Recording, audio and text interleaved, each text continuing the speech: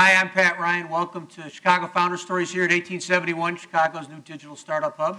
We have a special guest tonight, uh, John Aiello, the co-founder of Savo. Uh, I, in the interest of full disclosure, I have to tell you, I think John's advice is so great that I have him on the board of not one but two of the companies we started. So, um, well, well, I don't have any ownership in Savo. I wish I did, and uh, this is this is really great. It shows you um, John's a great director, a great entrepreneur, and, and, and a great you, friend Ben. of entrepreneurs in Chicago here. So we're Thank you. really glad to have you. Thank you very much. Um, so just to start off for the people who don't know Savo, what, is, what does Savo do? Savo's in the business of making salespeople more effective. I mean, at the very simplest level. Um, if you think of uh, ever selling anything in your life, which hopefully all those entrepreneurs out there are thinking exclusively about selling stuff with their whole life, um, you need a lot of stuff. You need a lot of information. You need access to content, to people, to insight, to best practices. Savo's in the business. It's a SaaS company. Um, through and through, we have north of a million users of our software now globally across probably 300 customers, major corporations and their sales organizations. I like to describe it from the life of a salesperson who's preparing for a meeting, who's trying to find the right PowerPoint, the right uh, case study, the right subject matter expert in their organization, maybe halfway around the world. How do you push that information to these people when they need it most in the context of a selling opportunity? That's what Savo does. And, and we call it sales enablement. At the end of the day, it's making salespeople smarter so they don't have to spend a lot of time doing wasted energy type stuff of finding information and they can focus on the interaction of selling, which is where the magic happens. That's exciting. So for the uninitiated, how would it be different than what the way someone might use a Salesforce.com? I would say it's very complementary to Salesforce.com or the CRM category in general. If you think about it, CRM is a very critical part of an organization. It tends to have value for the management organization. I mean, we use CRM, we use Salesforce.com at Savo, and we use it religiously and well. But it's really a tool for salespeople to communicate up the ladder of what's going on in their territory, what's going on in their pipeline, ultimately used in, in, in most cases for forecasting and projecting. We flip flop it. The value of Savo is quite the converse. It's all about the salesperson. How do you make that sales individual, he or she, more effective in what they do so the pipeline they're forecasting through CRM is actually going to happen? Okay? And, and by the way, fully integrated into all CRM so that if you're in an opportunity record inside of Salesforce.com and you're saying, I need to call Bob Smith today because I'm at stage two in my sales cycle, Savo will automatically push you all the right stuff that you need for that conversation. Major time savings for salespeople, and you get to replicate what your very best people do in some of your newer people as well. That's exciting. That makes a big difference. It's very powerful. Salespeople love it. And that's usually a difference between CRM, quite honestly, Pat. They love to use Savo. Oh, yeah. CR, CRM, most implementations Salesforce are, we won't pay you unless it's in there. Well, And that's That's always, get in there. I- I'm a big believer in the stick and the carrot. Now, it's, it's interesting, um, you know, looking at what Savo does, and, uh, you know, we, one of the things we talk about in entrepreneurship, and Marc Andreessen is a big proponent of, is, you know, startups think so much about product, which is important, but go to market and, uh, um, you know, getting sales. We were on a board call today, and, and John said, I think only, to the CEO of the company, he said, I think only 95% of your focus has to be on sales right now. um, you can do everything else in the other 5% of time, because there are times when you're in a startup, you really have to focus. You have to get that market traction. And I think in our, well, product is so critical, you have to have the right product to sell. Um, making salespeople effective, boy, for all of us, it's like engineers. And a salesperson who's really good is 5x what an average one Absolutely. is. And you guys obviously make that, raise the bar for everybody. Um, it's a cool idea, you're having a big impact, but where does an idea like that come from? You, you guys coined, I believe, coined the term sales enablement technology. We, we did. We, we actually didn't coin that till we were in business for about six years. So uh, we were slow on the coining of terms. Um, honestly, it started in, in the trenches. I, I was uh, a young marketer coming out of Kellogg, which is where I first met Pat, uh, plug for the, the folks up north here, um, and went to the Miller Brewing Company um, and was one of the brand managers for Miller Lite. And I had a great mentor up there, a guy named Mike Johnson, who said, Aiello, marketing is really, really critical, but if you don't help salespeople sell stuff, you stink. Actually, he used different language, but for the purpose of tonight, I'll, I'll say that.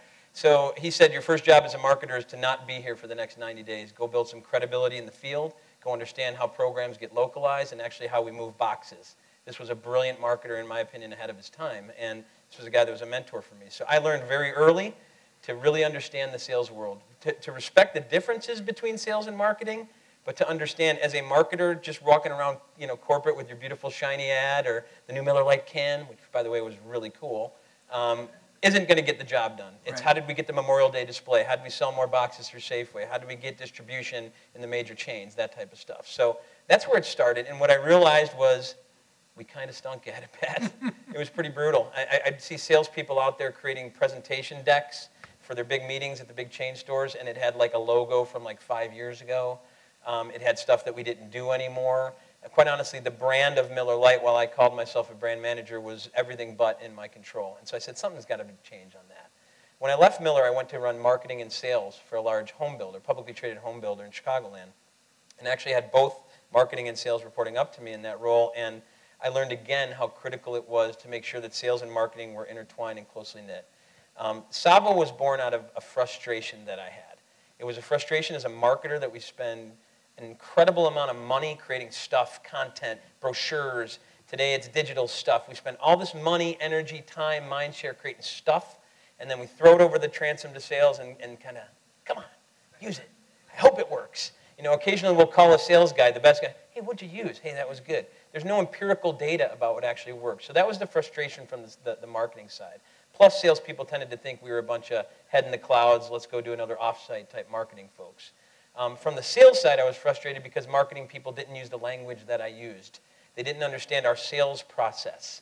Okay, they didn't understand exactly what I needed at the right time. They were creating things that, that felt good in, in corporate. So that was the frustration. And I said, you know what, there's a problem to be solved here.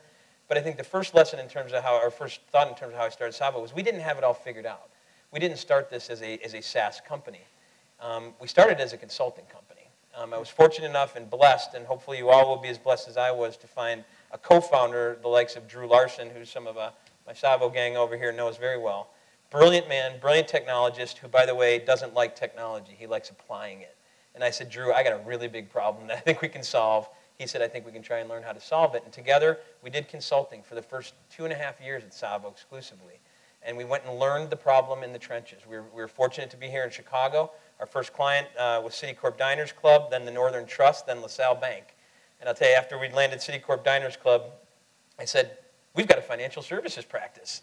Um, we didn't even have a brochure ourselves, but I certainly sold that very hard into some of these other organizations. And we learned about this problem from our customers.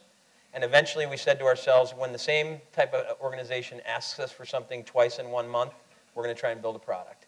And we built a product in 2002 so we were SaaS before SaaS was cool. I think it was like us and Salesforce.com. I'm pretty sure it was pretty So- much it. So talk a little bit about uh, that first client. How'd you get the first consulting client? And then we could talk a little bit about Sure. the first technology client, the first SaaS client. Well, first of all, I looked really sad and hungry um, and told them how much I really needed revenue. Um, revenue, by the way, is the only thing I'll ever talk to entrepreneurs about. If, if you have revenue, don't worry about your board and your governance. Actually sell something. Now you're an entrepreneur. Um, my belief is that first customer, you have to do anything you can. Anything you can. I was fortunate to have a, a, a network of my Kellogg classmates. Obviously, here's one of the most accomplished, but some of my classmates had moved on into some pretty senior ranks. Um, sent out a note and said, hey, listen, I just started something. Here's kind of what we're going to try and do. Would you give me a few minutes to sort of investigate what you're looking for? And I think I was a pretty natural sales guy, sort of a marketer by training, sales guy by DNA and I understood the concept of discovery and trying to probe for unmet needs and pain. And we found out that there was a, a major pain at, at Citicorp Diners Club at the time, which was they were hemorrhaging existing clients. They needed to sort of create a retention program to maintain these folks. And their account execs were out trying to do PowerPoint presentations, and it was taking them two months to even put a presentation together. It was an incredible waste of time. And of course, as any good entrepreneur does, I said, well, what if we recreated your content for you? And then what if we built a technology that could automate that whole thing? And of course, the what if question led to a absolutely, and then Drew kicked me under the table and said, You idiot, I don't know we're going to do that.